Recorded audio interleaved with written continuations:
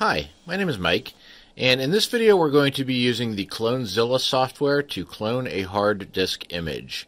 We're going to be creating an image on an external hard drive from this laptop on our left, which is our source laptop, and we're going to be restoring that image on this other laptop on our right, which is going to be our destination laptop. For this video, we're using two Asus UX434 laptops. We're going to use a portable external USB hard drive and a USB flash drive. If you're not familiar with the CloneZilla software, you can head on over to clonezilla.org where it tells you that CloneZilla is a partition and disk imaging cloning program similar to TrueImage or Norton Ghost. It helps you to do system deployment, bare metal backup, and recovery. Working in the IT field, this is a very common task where we may have to image and deploy many computers rapidly in order to equip our users. When you're ready to start, you just click on the download link, click on stable, and the default options are fine. So we'll hit download, and then we'll save that download onto our desktop. While that file is downloading, let's go ahead and insert our USB flash drive onto one of the USB ports on the right.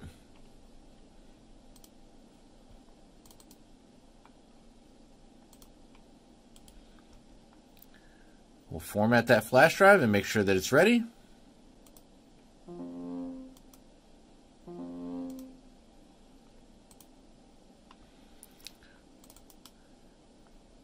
Then we can take all of the files in the CloneZilla zip archive, which we just downloaded, select those, and drag those over onto our flash drive.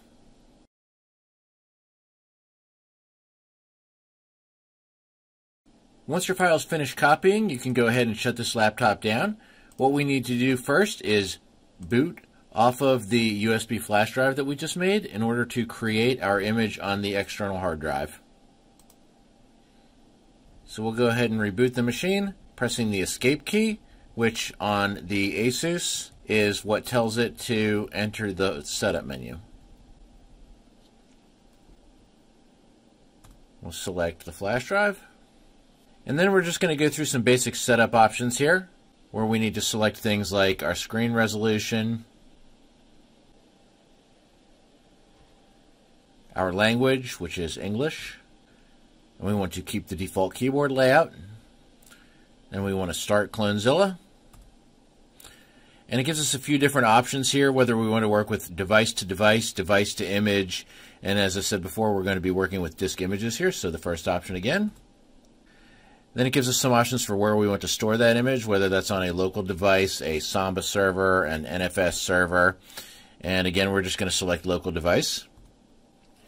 Then we need to plug that external hard drive into one of the USB ports on the laptop. And down here at the bottom, you can see it's trying to detect USB devices, so we'll just press enter. And once it adds the external hard drive, which in our case is this Western Digital My Passport, you can press Control C.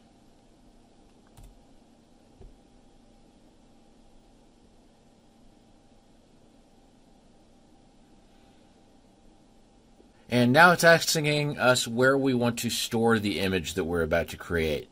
It uses Linux file names, so it might not be super intuitive if you're used to like Windows file names, you know, with your C drive.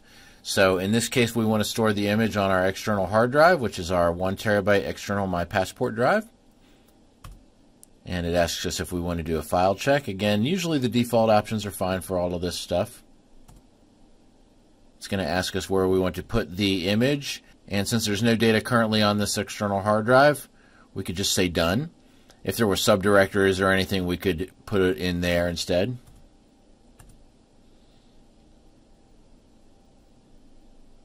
Next, it's going to ask us if we want to use beginner mode or expert mode. And again, we're going to just choose beginner. Then, since there's no images currently on the disk, our options are to save the entire disk or save individual partitions. We want to save the entire disk because we're making an image. And what do we want to name the image? It defaults to just calling it with today's date, and we'll just go with that. So we'll tab down to OK. and it asks us what do we want to use as the source. For our source, that's going to be the laptop's internal hard drive. It says again, we're making an image of this laptop. We're storing it on the external hard drive, which we're going to restore on our other laptop over there. So for the source is the internal hard drive. We'll just press OK. It tells you asks what type of compression you want to use. Again, I just go with the default. Tab down to OK. And then it asks if you want to do any additional repairs or checks on the file system. I'll just tab down to OK again. And then it asks if we want to check if the saved image is restorable. And then the default is yes, check the saved image. So we'll just tab down again to OK. And then it asks, do we want to encrypt the image? This isn't normally something that you need to do, but obviously depending on the data that you're copying, you may want to encrypt it. So we'll just tab down to OK again. The last option it gives you is what you want it to do when it's finished creating the image, which your options are reboot or shut down, enter a command line prompt. We'll just go with default again, which is to prompt the user what you want to do. We'll tab down to OK, hit OK, and then it asks us down at the bottom to hit enter again.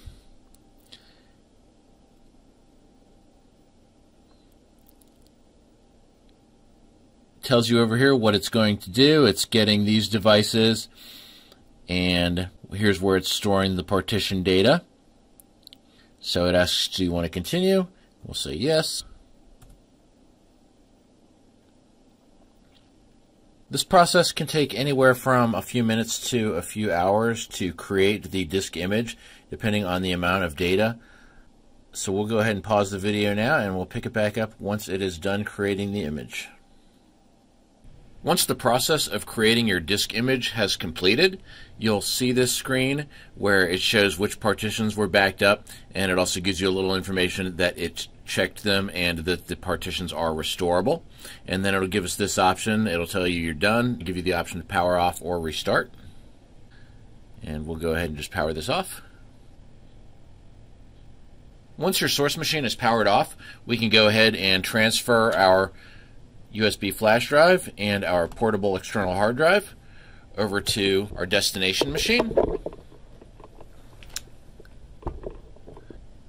As with our source machine, we'll start by plugging the USB flash drive into one of the available USB ports on the laptop and powering it on while tapping the escape key, which on these Asus laptops is what you use to enter the boot menu. On other machines, it might be different. Dell uses F12, for example and we'll select the flash drive. Then we're going to go through the same setup process as we did with the source laptop. We're going to choose our screen resolution. Next we choose our language, which is English, our keyboard layout, which is default. We're going to start Clonezilla.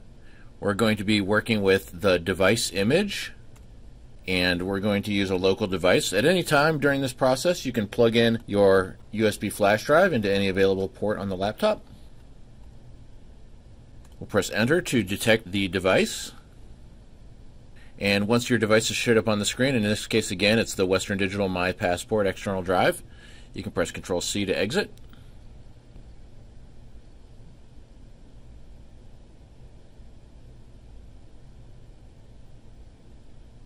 Clonezilla will ask you where you want to restore the part image from. And we're going to choose the Western Digital drive. It asks you if you want to do a file check on here. Again, the default options are usually fine.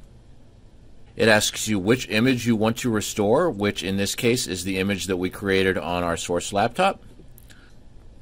Tab down to Done. Press Enter.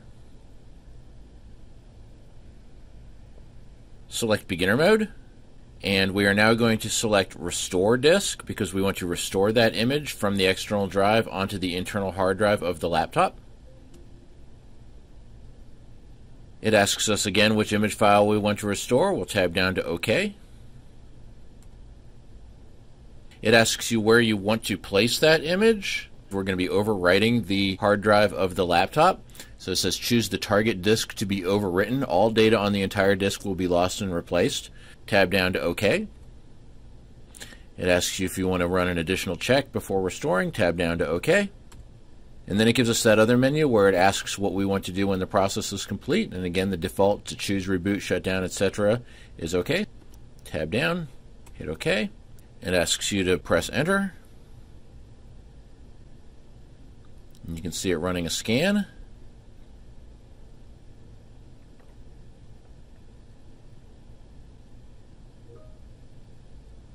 Once it finishes checking the image, it will ask you again to confirm. We'll say yes. And then it asks us again a second time. And it gets us with a warning, warning, warning. We'll say yes.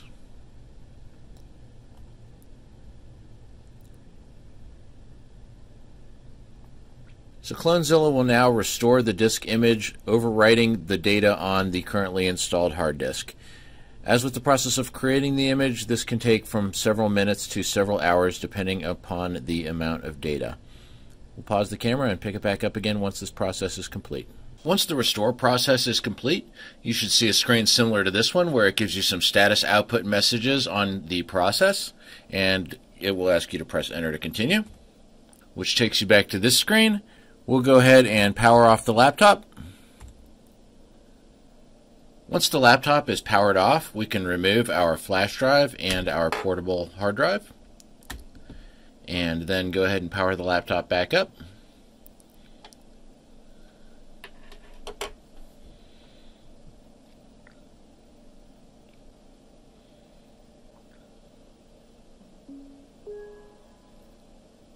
Once the laptop finishes powering up, you'll see we now have an identical image on our destination laptop as we did on our source laptop over here.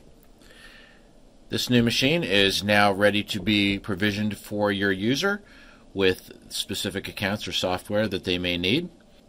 I hope this video has been helpful to you. If it has, please like and subscribe to my channel and give me a thumbs up. I hope to do a lot more computer repair and setup videos in the future. I also do car repair videos, RV travel videos, and a variety of retro computing videos. Thank you. Have a great day and stay safe out there.